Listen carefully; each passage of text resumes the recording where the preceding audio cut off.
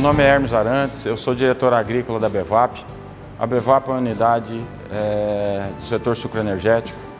Estamos instalados aqui no município de João Pinheiro, noroeste de Minas Gerais. Nós temos um regime de chuvas na ordem de 1.200 milímetros na média dos últimos 20 anos e temos aí a necessidade de complementar é, essas chuvas com irrigação. Então nós somos a planta a maior do Brasil, uma das maiores do mundo, com área em cana irrigada. Nós temos hoje 30 mil hectares de lavoura de cana, entre cana própria e cana de fornecedores, toda ela irrigada.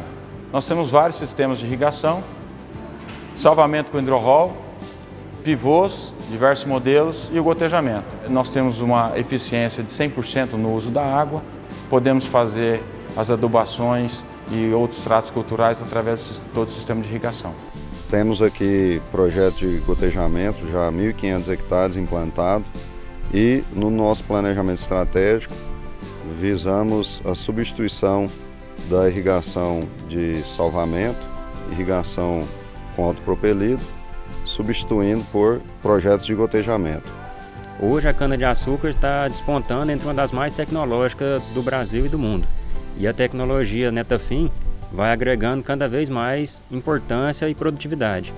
Nós saímos de algumas áreas de sequeiros de 70 toneladas de, de cana por hectare para até 180 toneladas de cana por hectare no sistema de gotejamento.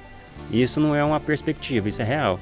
Então, com o sistema, tecnologia, é, mão de obra empregada e até a parte tecnológica e assessoria, faz com que a gente consiga esse resultado. A Bevap deu um salto de mil por cento em relação a 2010 em função da irrigação. E um dos objetivos e dos motivos de investir na, na, nos projetos de gotejo é acreditar que o gotejo nos daria essa possibilidade de crescer verticalmente. Começamos com dois primeiros projetos em 2017, hoje nós estamos implantando o décimo projeto e não vamos parar por aí, porque acreditamos na irrigação, acreditamos no gotejo.